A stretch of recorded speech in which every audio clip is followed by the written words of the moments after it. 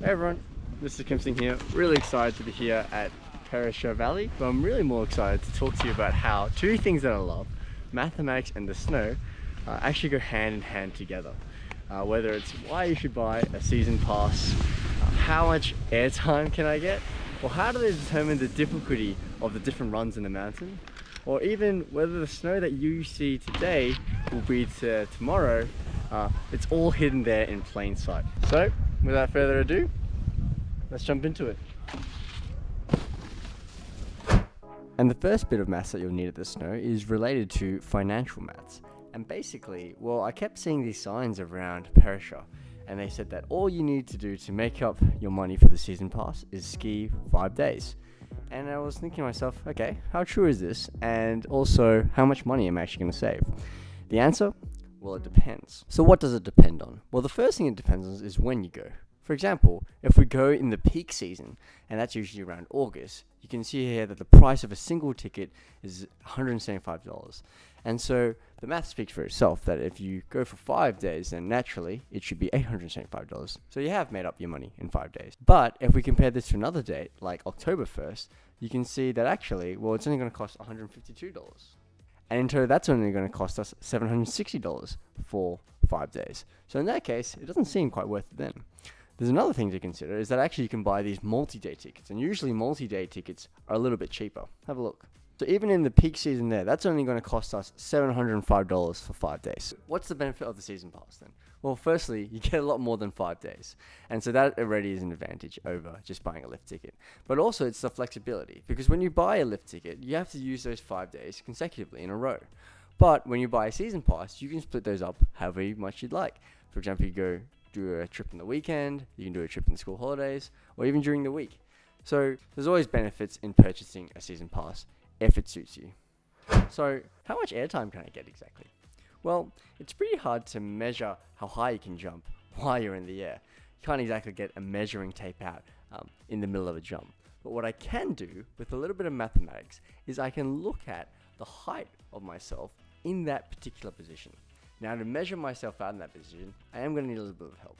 But once I can do that, I can take this height and use it to compare it to an image of myself here and look at that height of the position compared to the distance off the ground.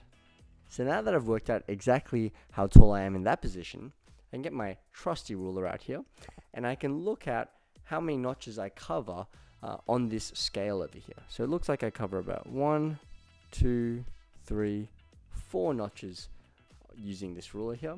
And we know that those four notches are the same as 105 centimeters in real life. So to work out the height of one of those notches, I can just do 105 divided by 4. That's going to give me 26.25 centimeters. And so now I can work out exactly how much airtime I got by counting the notches above the ground.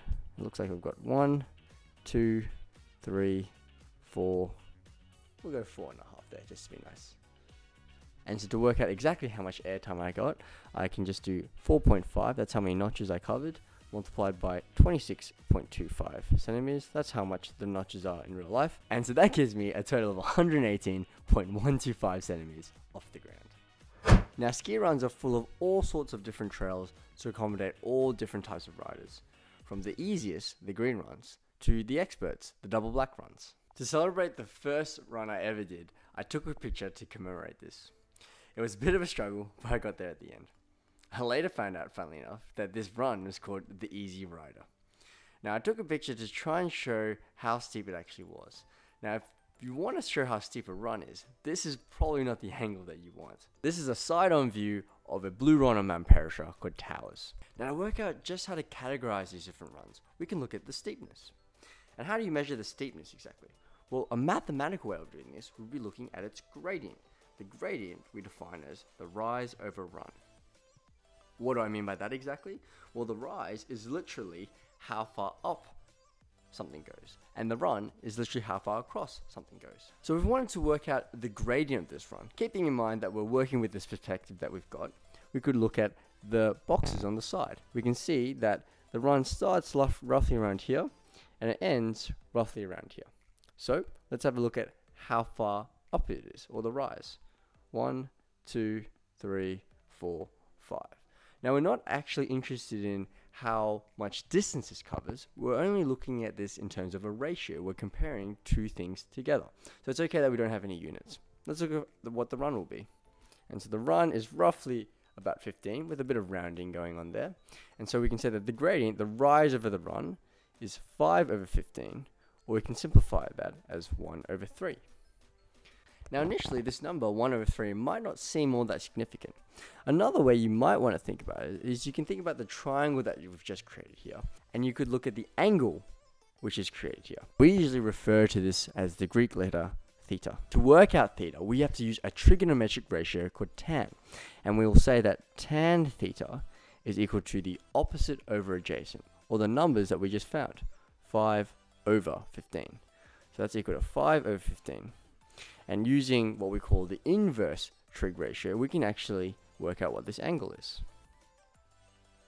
And when you calculate that out, you're going to get roughly 18.43 degrees. We'll just round it off to the nearest whole number. So we'll say that's 18 degrees. So these numbers might not seem that significant, but it's because we don't have anything to compare it to. Let's compare it to a black run. Now this is a side-on view of a black run and it's a bit of a step up from Easy Rider and Towers. In fact, it's actually called Kamikaze appropriately.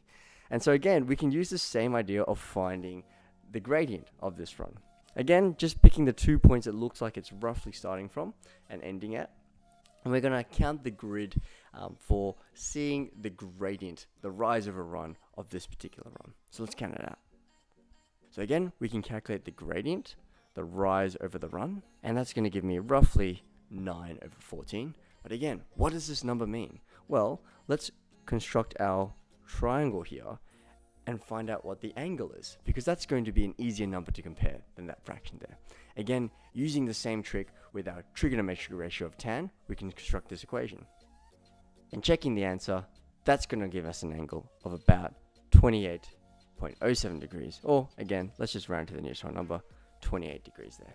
What's the significance of the numbers that we just found? Well, actually, there is a general guideline for how these trails are rated, and you can see it over here. So roughly, a green run has a what we call a grade or gradient of 25%. Blue runs are a step up; they can go up to about 40%. Anything bigger than that, then that's when we have your black runs. Now, comparing them to our runs, we have our gradient, but that's as a fraction. So I'm just going to write that as a decimal. 1 over 3, that's just 0.3 reoccurring. And 9 over 14, well, it's roughly 0.64 with a lot of decimals after that. So, if I was to write these as percentages, that's roughly 30%, and that's roughly 64%. So can you see now that this is actually falling within the range because blue runs can go up to roughly again 40%, and anything more than 40% is going to be a black run. And same thing with the angles, right? Blue runs go to about 22 degrees, which our one does meet it up and then our black run is more than 22 degrees. It's 28 degrees actually. Other things to note that I thought they were interesting, uh, trails are rated actually by their most difficult areas. So even if there are some green and blue parts along there, and some parts are black, then they have to be rated black. And some other things are that if there's some um, difficult terrain or some exposed trees and rocks and things like that, that can also uh, change the rating of these particular trails. And last but certainly not least, Will the snow that you see here still be there tomorrow? It's something really important to skiers and snowboarders that when there is a big dump of snow, that it actually stays there throughout the week. And so many things can take it away, whether it's hot weather, whether it's the rain, whether it's just skied out, and the levels can change dramatically, even overnight. Take this run here. This is Accelerator, and I've just taken some snapshots from the snow cams over the season. You can see it starts off quite nice, and over time, oh, Oh no, that's uh, not, not quite good now. And, oh, okay, well that's definitely not skiable. and whenever you look at the mathematics of real life situations, it's always going to be complex because there's just so many things to consider. What part of the mountain are we looking at? Is the snow packed in very much? Is there going to be rain? Is there going to be sun? Do many people ski through that area?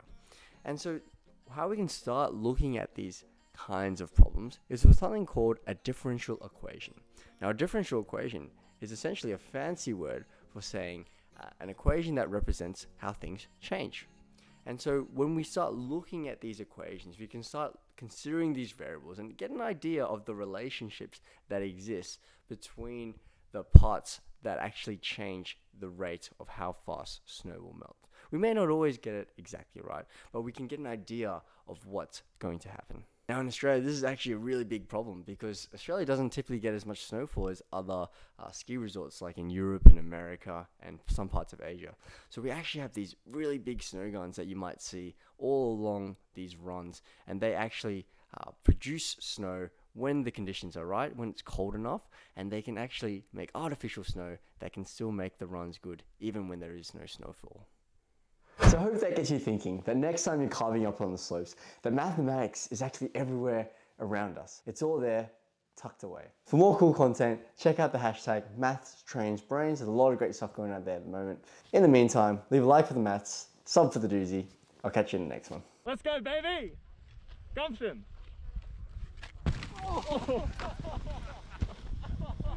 oh dude. Oh, ah, that's fine.